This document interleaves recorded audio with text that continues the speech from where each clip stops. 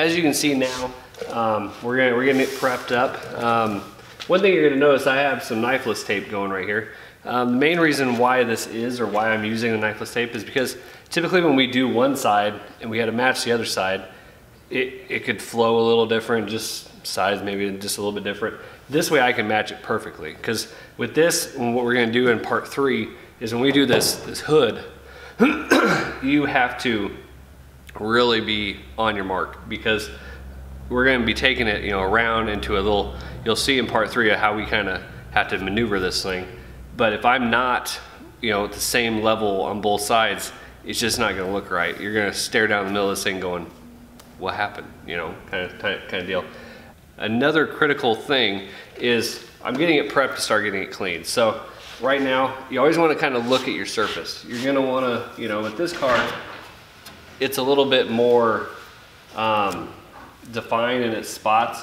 So the first thing you want to do is you want to be looking at your corners, kind of seeing what you got, what things you're going to have to mess with when it comes down that way.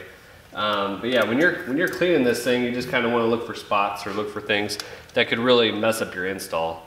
Um, but yeah, other than that, take a look and see what happens.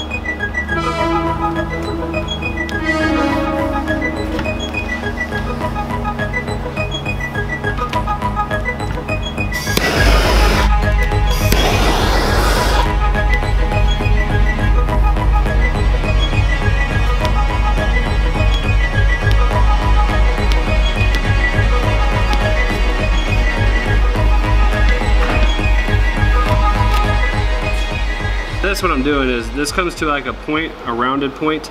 Um, what I'm gonna do is I'm gonna kind of work my air around this.